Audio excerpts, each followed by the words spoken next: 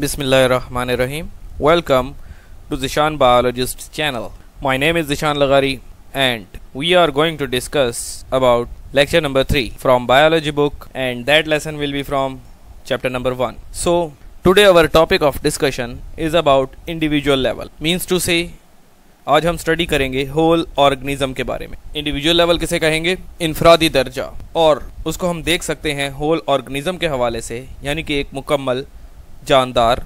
पहले हमने स्टडी किया था अकॉर्डिंग टू ह्यूमंस जिसमें डाइजेस्टिव सिस्टम था, उसके बाद skeletal system muscular system respiratory system ये सारे ऑर्गन सिस्टम मिलकर होल ऑर्गेनिज्म की फॉर्मेशन करते हैं। उसके बाद हम स्टडी करेंगे पॉपुलेशन लेवल को means to say group of similar species यानी कि एक ही तरह के जानदार, एक ही वक्त में एक ही जगह पर मौजूद होंगे तो क्या बनाएँगे? पॉपुलेशन लेवल यानी कि ये होल ऑर्गेनिज्म या फिर इंडिविजुअल लेवल से आगे वाला लेवल हम स्टडी करेंगे। एक ही तरह के जानदार जिसमें शामिल होंगे। उसके बाद हम स्टडी करेंगे कम्युनिटी लेवल को, जिसमें डिफरेंट काइंड ऑफ़ ऑर्गेनिजम्स एक ही जगह पर, एक ही वक्त में मौजूद होंगे। तो वो क्या बनाएँगे? कम्युनिटी जैसे कि एनिमल्स एंड प्लांट्स और पॉपुलेशन लेवल में हम कह सकते हैं number of students in your biology class इनको हम डिटेल से डिस्कस करेंगे। उसके बाद हम स्टडी करेंगे लिविंग वर्ल्ड इन स्पेस मतलब क्या है इसका? ज़िंदा दुनिया स्पेस का मतलब क्या होगा? जगह. यानी कि ऐसी जगह जहाँ पर ज़िंदा जानदार मौजूद होंगे। उसको हम किसमें स्टडी करेंगे? लिविंग वर्ल्ड इन स्पेस में। जैसा कि हमने पहले देखा था कि सब एटॉमिक पार्टिकल्स मिलते हैं तो एटम बनता है और एटम कंबाइन हुए थे तो मॉलिक्यूल बनते हैं। फिर ये मैक्रो मॉलिक्यूल्स पर्टिकुलर वे में अरेंज होकर क्या बनाएँगे? ऑर्गेनल्स बनाएँगे। और जिस जगह ऑर्गेनल्स मौजूद होंगी, वो जगह सेल कहलाएगी। और बहुत सारे एक जैसे सेल मिलकर एक ही तरह का फ़ंक्शन परफॉर्म कर रहे होंगे तो वो टिश्यू बनाएँगे। और जिस जगह पर डिफरेंट टिश्यूज मिलकर रिलेटेड फ़ंक्शन परफॉर्म कर रहे होंगे, यानी मिलजुल कर काम कर रहे होंगे, वो जगह ऑर्गन कहलाएगी। अब इसी तरह से हमने देखा था कि organs different organs related function मिलजुल कर एक ही काम कर रहे हैं। सारे ऑर्गन्स मिलजुल कर डाइजेशन का फ़ंक्शन परफॉर्म कर रहे हैं। फ़ूड की डाइजेशन यानी कि खुराक की तोड़ फोड़ का अमल जो है परफॉर्म कर रहे हैं।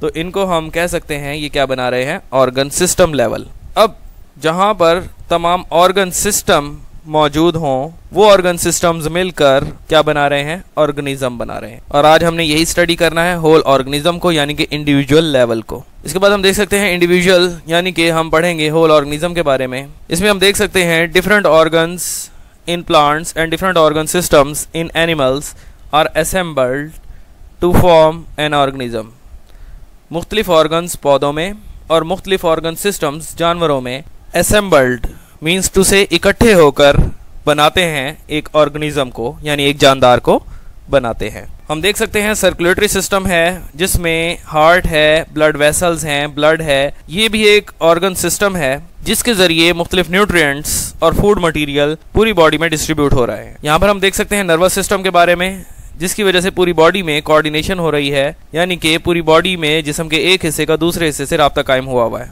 और उसके बाद हम देख रहे हैं रेस्पिरेटरी सिस्टम को, जिसके ज़रिए ऑक्सीजन इनहेल की जाती है और कार्बन डाइऑक्साइड एक्सहेल की जाती है in humans according to humans हम देख रहे हैं। और उसके बाद हम देख रहे हैं यहाँ पर डाइजेस्टिव सिस्टम जिसके बारे में हम स्टडी कर चुके हैं, जिसका काम होगा फ़ूड को डाइजेस्ट करना, यानी कि उनको, उसको ब्रेक करके, उसको सिंपल यूनिट्स में कन्वर्ट करना। और यहाँ पर स्केलेटल सिस्टम है, जो कि मस्कुलर सिस्टम के साथ फ़ंक्शन करेगा और मूवमेंट प्रोड्यूस होगी। तो ये तमाम ऑर्गन सिस्टम्स मिलते हैं तो एक होल ऑर्गेनिज्म बनता है। इसके बाद हम स्टडी करेंगे एनिमल्स के हवाले से।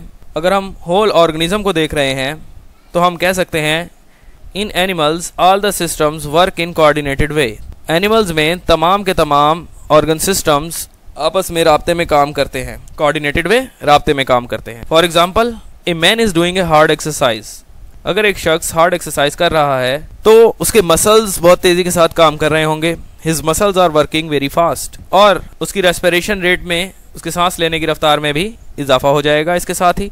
मसल्स तो काम कर रहे हैं, लेकिन रेस्पिरेटरी सिस्टम भी इसके साथ काम करने लग गया है। और उसके साथ हार्ट बीट भी उसकी फास्ट हो गई है। और क्या होगा आगे?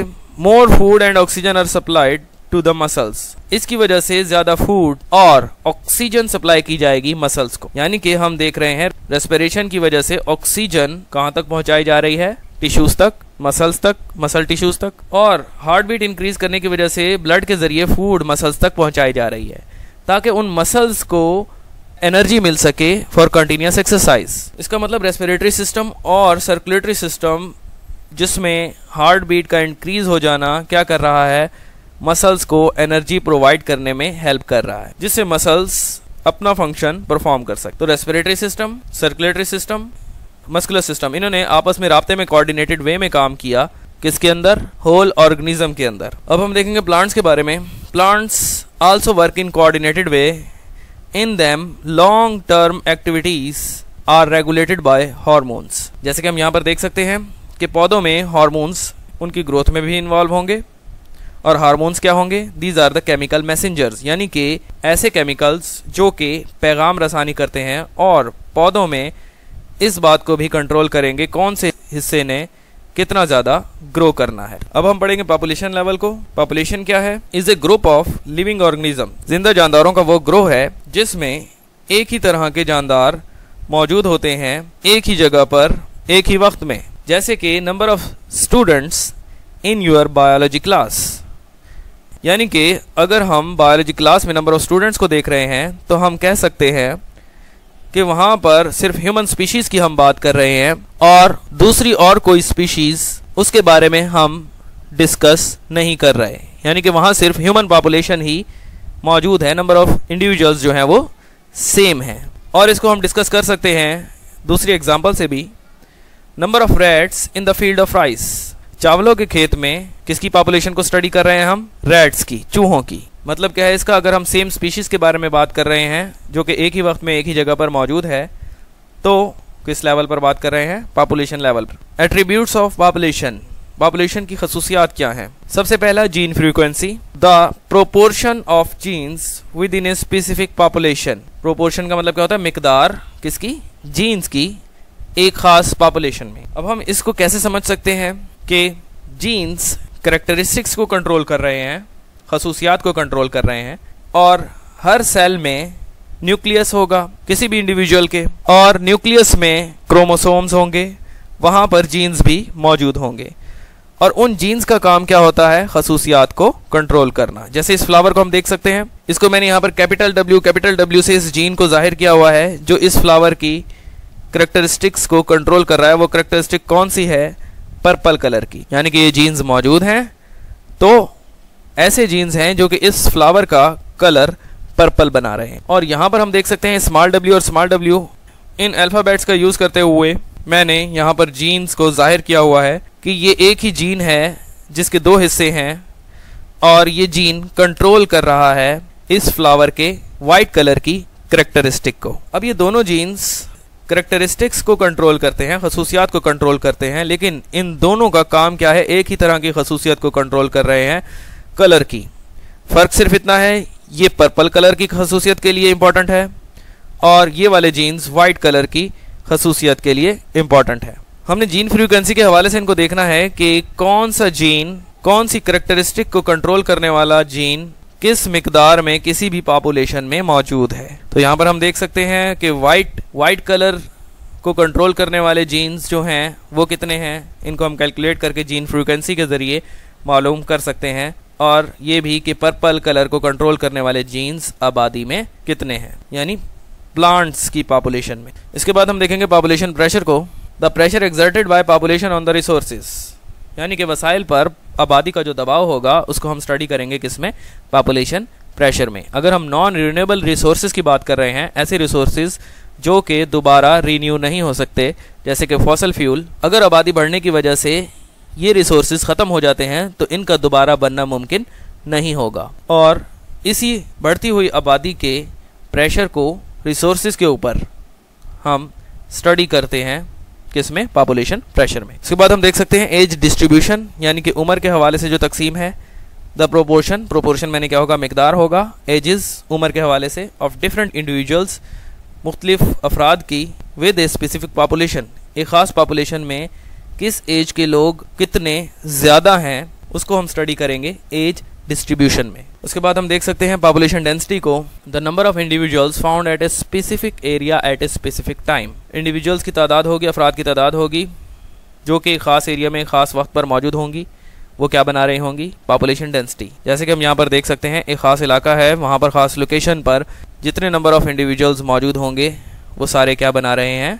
पॉपुलेशन डेंसिटी को बना रहे हैं। और पॉपुलेशन डेंसिटी को हम कह सकते हैं आबादी की गुंजाइश, या फिर आबादी का ताल्लुक उस जगह के साथ जिस पर वो काबिज है। इसके बाद हम देख रहे हैं जीन फ्लो के बारे में।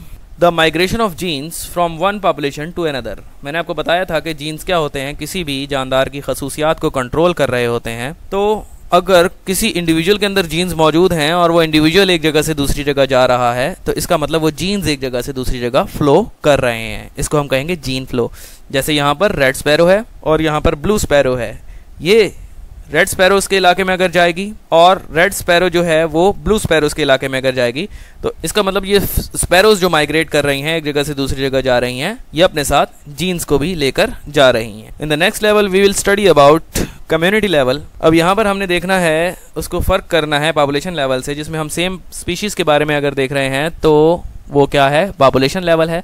अगर कम्युनिटी की बात कर रहे हैं तो उसमें हम डिफरेंट स्पीशीज़ को स्टडी करेंगे, जैसे कि plants and animals living in the same habitat form a community यानी कि एक ही जगह पर अब क्या मौजूद हैं? पौधे भी और जानवर भी। तो वो कौन सा लेवल बना रहे हैं? कम्युनिटी लेवल बना रहे हैं। अब कम्युनिटी जो है वो एक सिंपल कम्युनिटी और एक कॉम्प्लेक्स कम्युनिटी पहले सिंपल कम्युनिटी को समझ लेते हैं। जैसे हमने प्रीवियस क्लासेस में पढ़ा था फॉल एंड लॉग कम्युनिटी के बारे में। तो उसी एग्ज़ाम्पल को मैं यहाँ पर आपको डायग्राम के ज़रिए समझाऊँगा।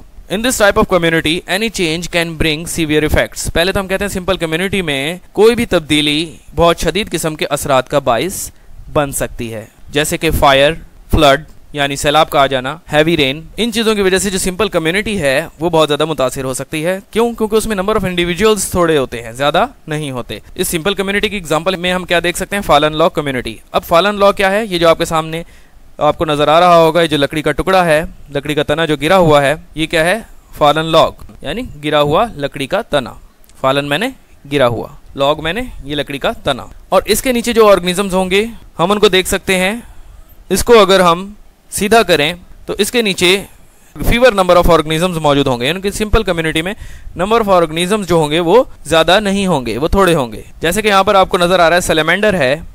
अब ये सेलेमेंडर जो है, ये सिंपल कम्युनिटी का हिस्सा है। यानी कि वो जो हमने लकड़ी का तना देखा था, गिरा हुआ, उसके नीचे इस तरह की स्पीशीज़ मौजूद होती हैं। और थोड़ा बहुत भी एनवायरमेंटल हैज़र्ड इन स्पीशीज़ के लिए नुकसानदेह साबित हो सकता है। यानी कि ये स्पीशीज़ टोटली उस जगह से लॉस हो सकती हैं। उसके बाद हम देखते हैं कॉम्प्लेक्स कम्युनिटी को। आपके सामने है डायग्राम में कि कोई भी चेंज कॉम्प्लेक्स कम्युनिटी में थोड़े अरसे के लिए असरात जो है, उसके ज़ाहिर हो सकते हैं। लेकिन ज़्यादातर केसेस में क्या होता है कि कॉम्प्लेक्स कम्युनिटी को कोई भी नेगेटिव चेंजेस से ज़्यादा फ़र्क नहीं पड़ता। और कॉम्प्लेक्स कम्युनिटी में आप देख सकते हैं various kind of animals and plants मौजूद हैं और यहाँ पर डिफरेंट बायोडाइवर्सिटी जो है देखने में सामने आ रही। इसके बाद हम स्टडी करेंगे लिविंग वर्ड इन स्पेस के हवाले से। मैंने आपको बताया था लिविंग का मतलब क्या होगा? ज़िंदा वर्ड मैंने दुनिया और स्पेस का मतलब जगह। ऐसी जगह जहाँ पर ज़िंदा जानदार रहते हैं। और उसमें हम सबसे पहले देख सकते हैं कि इकोसिस्टम की बात आएगी, जहाँ पर ज़िंदा जानदार रहते हैं जिस जगह पर, उसमें हम कह सकते हैं कि माहौलियाती निज़ाम को हम स्टडी करेंगे। इको मीन एनवायरमेंट होगा सिस्टम मीन निज़ाम होगा। A system in which living organisms interact with its surrounding ऐसा सिस्टम जिसमें ज़िंदा जानदार रबते में होते हैं, अपने माहौल के साथ विद इट्स सराउंडिंग एनवायरमेंट अपने इर्द गिर्द के माहौल के साथ। उसको हम क्या कहेंगे? इकोसिस्टम अब वो ज़िंदा जानदार कैसे अपने इर्द गिर्द के माहौल के साथ ताल्लुक में होते हैं? हम देख सकते हैं यहाँ पर प्रोड्यूसर हैं, ये प्लांट है, ये ट्री है, ये प्लांट्स में आएगा और ये प्रोड्यूस कर रहा है ऑक्सीजन और ऑक्सीजन को कौन इनहेल कर रहा है? ये एनिमल्स और ये ट्री यूज़ कर रहा है कार्बन डाइऑक्साइड को for the formation of glucose during the process of photosynthesis in the presence of sunlight अब ये सनलाइट क्या है? नॉन लिविंग है और ये जो ट्री है, ये लिविंग में आएगा तो लिविंग का नॉन लिविंग के साथ इंटरेक्शन होगा। अब हम कह सकते हैं लिविंग ऑर्गेनिज्म इंटरेक्ट कर रहा है अपने सराउंडिंग एनवायरमेंट के साथ। ये लिविंग है और नॉन लिविंग सनलाइट तो इसको हम स्टडी करेंगे ताल्लुक को किसमें? इको सिस्टम में। Eco mean environment system mean निज़ाम। और इसी तरह से ये ऑक्सीजन एनिमल्स यूज़ करेंगे और एनिमल्स प्रोवाइड करेंगे carbon dioxide to the producers यानी कि प्लांट्स को कार्बन डाइऑक्साइड प्रोवाइड करेंगे। इन द नेक्स्ट स्टेप हम देख सकते हैं कि पैरासिटिज्म में हमने डिस्कस किया था वो ऑर्गेनिजम्स जो दूसरे जानदारों को नुकसान पहुंचाते हैं और उनसे खुराक और सहारा, यानी शेल्टर हासिल करते हैं पना हासिल करते हैं। इसमें हम एग्जांपल देख सकते हैं मॉस्किटो की है कि मॉस्किटो जो है वो ब्लड सक करता है, ये एक टेम्परेरी पैरासाइट है और टेम्परेरी पैरासाइट किस वजह से? क्योंकि ये थोड़ी देर के लिए कांटेक्ट में आता है। अगर ह्यूमंस को बाइट कर रहा है तो ये किसकी एग्जांपल है? पैरासिटिज्म की। और अगर ये मॉस्किटो बाइट कर रहा है ह्यूमंस को तो ये कौन सा है? फीमेल एनोफिलिस मॉस्किटो इसी तरह से हम कंपटीशन की एग्जांपल भी देखेंगे, जिसमें जानदार रिसोर्सेज के लिए आपस में मुकाबला करते हैं। इसके बाद हम देख सकते हैं प्रिडेशन प्रिडेशन को हम यहाँ पर एग्ज़ाम्पल में देखेंगे कि एक प्रेडेटर है, जो कि अपने प्रे को कैच कर रहा है। यानी कि प्रीडेशन में क्या होगा? प्रेडेटर होगा, जो कि अपने प्रे को कैच करेगा, उसको किल करेगा और उसको खा जाएगा। और दूसरी एग्ज़ाम्पल हम देख सकते हैं कमेंसलिज्म की। यहाँ पर एक लार्ज फ़िश है, यानी एक बड़ी मछली, जिसके साथ एक छोटी मछली अटैच हुई हुई है। इसको हम रिमोरा फ़िश कहते हैं। और ये छोटी मछली लार्ज फीडिंग ग्राउंड्स तक जाती है, किसके साथ अटैच होके? इस बड़ी मछली के साथ। जब ये बड़ी मछली लार्ज फीडिंग ग्राउंड्स तक पहुँचती है तो वहाँ पर छोटी मछली को भी उसके साथ खुराक मिल जाती है। और ये इसके साथ अटैच क्यों होती है? क्योंकि ये स्मॉल फ़िश खुद से दूर दराज इलाकों का सफ़र। और ये जो छोटी मछली है, ये इस बड़ी मछली को एज ए विहाइकल यूज़ करती है सवारी के तौर पे बड़े, यानी लार्ज फीडिंग ग्राउंड्स तक पहुँचने में, जहाँ पर इसको भी खुराक मिल जाती है। और इस तरह का अमल जिसमें एक ऑर्गेनिज़म को ना ही फ़ायदा हो, ना ही नुकसान हो, और दूसरे ऑर्गेनिज्म को फ़ायदा हो, जैसे यहाँ पर छोटी मछली को फ़ायदा हो रहा था तो इस तरह के रिलेशन को हम कह सकते हैं दैट इज़ कमेंसलिज्म इसके बाद हम देखेंगे म्यूचुअलिज्म म्यूचुअलिज्म वो ताल्लुक होगा जानदारों का, जिसमें दोनों जानदारों को बाहमी फ़ायदा हो रहा होगा। जैसे कि इस शहद की मक्खी को नेक्टर यानी कि फूलों से रस मिल रहा है, और बदले में ये शहद की मक्खी फूलों के रिप्रोडक्शन में, इनकी पोलिनेशन में हेल्पफुल साबित हो रही है। यानी कि पोलन ग्रेन्स एक फ्लावर से लेकर दूसरे फ्लावर पर ट्रांसमिट कर सकती है। लिविंग वर्ल्ड इन स्पेस के हवाले से हम देखेंगे बायोम को भी। बायोम क्या है? It is a large regional community primarily determined by climate यानी कि एक बड़ी इलाकाई, बड़ी रीजनल मैंने इलाकाई कम्युनिटी है, जो कि सबसे पहले कौन डिटरमाइन करता है? वहाँ का माहौल। यानी कि उस माहौल में किस तरह के जानदार होने चाहिए, किस तरह की कम्युनिटी होनी चाहिए, वो कौन डिटरमाइन कर रहा है? उस जगह की आबो हवा the major kind of plants determines the other kind of plants यानी कि एक तरह के पौधे, अहम पौधे जो होते हैं, वो दूसरी तरह के पौधों को मालूम करते हैं कि कौन से पौधे वहाँ पर होने चाहिए और कौन से जानवर उस जगह पर होने चाहिए। प्लांट्स को हम फ्लोरा कहेंगे एनिमल्स को हम फाना कहेंगे। एग्जाम्पल्स जो है बायोम की, वो कौन सी हो सकती है? फॉरेस्ट ग्रासलैंड एंड डेजर्ट इसको हम डायग्राम के ज़रिए देख सकते हैं कि एक्वाटिक बायोम में क्या देख रहे हैं? ऐसे लिविंग ऑर्गेनिजम्स जो कि वाटर में मौजूद हैं। डेजर्टेड बायोम में हम देखेंगे कि यहाँ पर लेस वेजिटेशन होगी और उसके बाद हम देख सकते हैं ग्रासलैंड बायोम के अंदर यहाँ पर वेजिटेशन यानी कि प्लांट्स ज़्यादा हैं। और फॉरेस्ट यहाँ पर इस तरह के बायोम में दरख्त मौजूद होंगे और टंड्रा बायोम के अंदर हम कह सकते हैं ये बर्फानी इलाका है, यहाँ पर दरख्त मौजूद नहीं है। यानी ट्री लेस जोन होगा। टंड्रा मीन ट्री लेस जहाँ पर दरख्त मौजूद नहीं होंगे।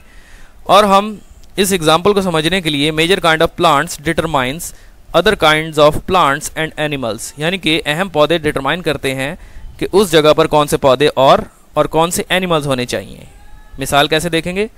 ग्रासलैंड इकोसिस्टम या फिर ग्रासलैंड बायोम के अंदर ग्रास होपर होगा, लेकिन डेजर्टेड बायोम को हम देख रहे हैं जहाँ पर ग्रास नहीं होगी, वहाँ पर ग्रास होपर भी मौजूद नहीं होगा।